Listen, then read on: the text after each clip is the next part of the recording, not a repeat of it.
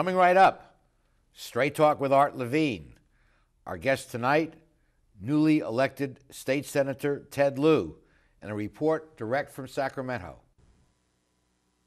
Opinions expressed in the following program do not necessarily reflect the views of Charter Communications nor its sponsors. We recognize our obligation to present opposing points of view by responsible spokespersons. For information, please contact the director of program. She stands in the face of evil and will not lose hope or faith. America, the land of freedom, is still the home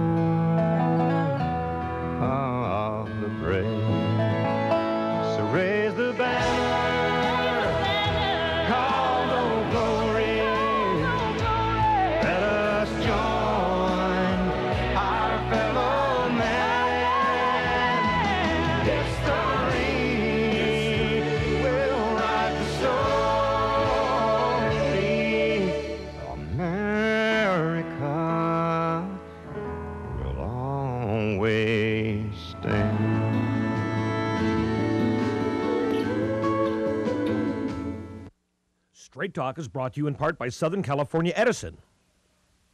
For over 100 years, life powered by Edison. The Press Telegram, your local news leader for over 100 years.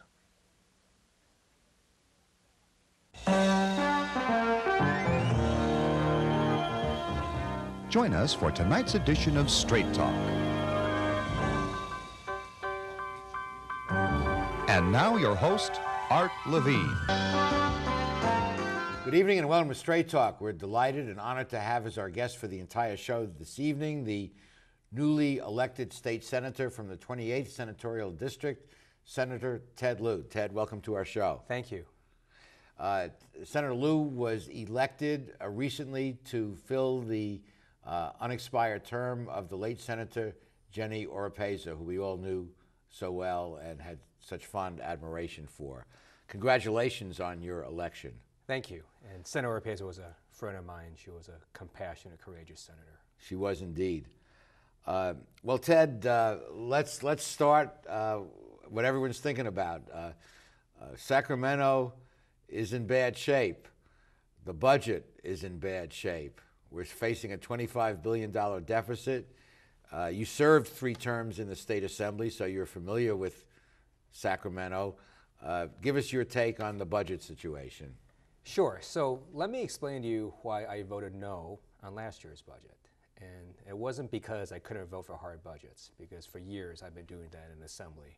But if you remember, we had this huge uh, discrepancy between uh, what the Democrats wanted and what the Republicans wanted. It was about a four to five billion dollar gap. And then we blew past the budget deadline, months past it, and then all of a sudden we get a call saying, hey, they solved the budget crisis. So I flew up to Sacramento, and they gave the briefing, and at the end of it, I said, I think you just made up the numbers. Because- Smoke and mirrors. Exactly, because what happened was the governor's office simply assumed another four billion or so was going to come. under the prior governor. Governor Schwarzenegger, that another four billion was going to come from the federal government with no basis for saying so. And I can't vote for something that's not real. With Jerry Brown, uh, he has proposed a budget that is real.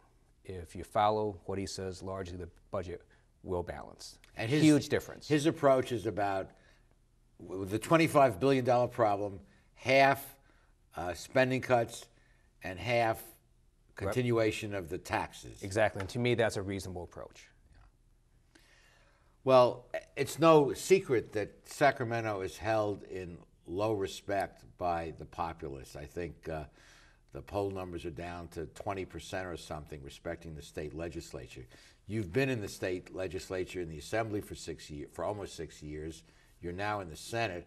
Ironically, people tend to like their assembly person or a senator, but the institution is not held in high esteem. What do you attribute that to? So a couple things. Um, one is the way that we are selected.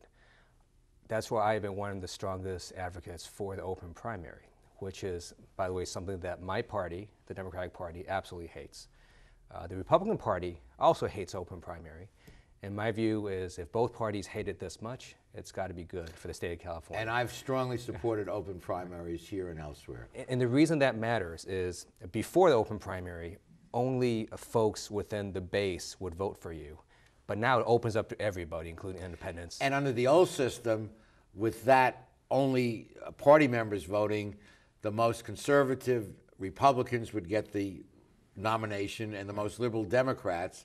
And we had gridlock in Sacramento. And I might add that re, uh, uh, gerrymandered districts also led to the same problem. Yes, so I also was one of the few legislators that supported redistricting reform, uh, primarily because I thought it was a huge conflict of interest for me to draw my own district. I just Amen to that. You heard, we call it the Legislators Full Employment Act. the There we go. And both parties were culpable in conspiring to draw these safe districts. Correct. And so what you would have is uh, legislators that were really extreme, uh, nice people, but because of the way they were selected, they would be extremely left or extremely right, and they would not want to compromise, partly because of their own philosophy, and second, they get punished by their own districts. And ironically, in a democratic society, the legislature is supposed to reflect the political will of the populace.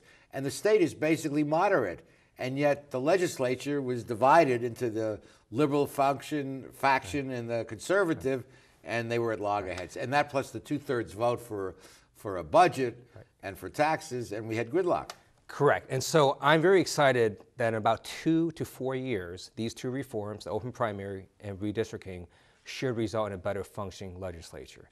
Now, Important structural absolutely. changes. Now, I think there are some things we can do right now to instill better confidence in elected officials. So, Such as? so for example, a few years ago, I declined my legislative pay raise. I also Really? yes. I also subsequently Congratulations. You know, do as I do. You know, that is so good. Thank you. Uh, subsequently, I took a voluntary pay cut before it was imposed on us. I have never had the state pay for my cell phone, and the state never will. And in one of my first official acts as state senator, you know, I was given a state gas card, and I kindly returned it back to the taxpayers. You know, as a professor of ethics as well as legal studies, I only can say amen to that, Ted. So if more government officials led by example, I think the public would at least uh, feel better about their government. And I think that's one reason Jerry Brown uh, has done well because he's done a lot of the actions of just eliminating what people perceive as fraud and waste and abuse. And while you're at it, when you get your, uh, when- when the paint dries on your office and you, some of those state commissions that pay a hundred thousand a year for one meeting a month, where termed out legislators are put to uh, thrive in their post-political life, might be examined. Yes, and so I supported a bill that actually looks at sunsetting uh, commissions that don't really uh, have much of a purpose. And it's funny you me- that you mentioned paint. I'm sorry, because my chief of staff came up to me and said, you know, new senators get to have the office repainted. And I said, um, is the public paying for this? And he said, yes. And I said, no, I don't want my office repainted. And so hopefully we can get through this crisis and then um, get uh, better confidence within uh, the government. And Governor Brown uh, is a very, very bright person Yes. and with, with good political instincts. And I, I think he's approaching things in the right way and trying to address a problem that he did personally did not cause. That's correct. And he's very much engaged uh, in the weeds. I mean, he's talking on very uh, fine details. He understands the budget. He actually engages uh, stakeholders, something that our former governor uh, did not do very much of. And I think you, you're seeing a big difference because of that. Great. Well, we'll be continuing this fascinating discussion with uh, Senator Ted Lieu after we pause for these messages. Stay with us.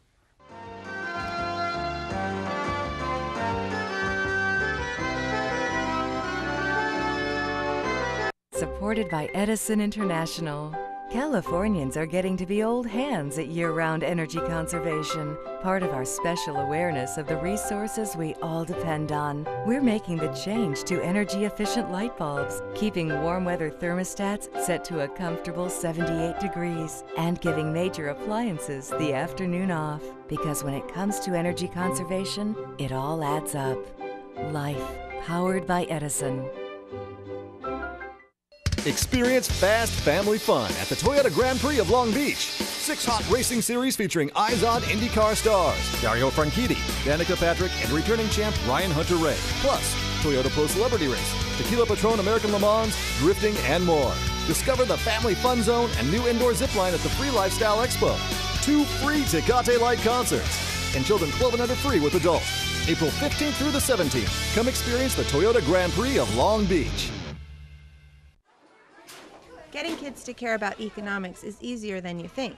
You just need to find a connection. Like how the Port of Long Beach supports one in eight jobs in our city alone, and how the port's commitment to going green is creating even more new jobs. So, the Port of Long Beach? Cool. My no texting in class policy? Not so cool. The Port of Long Beach, investing in jobs, investing in you.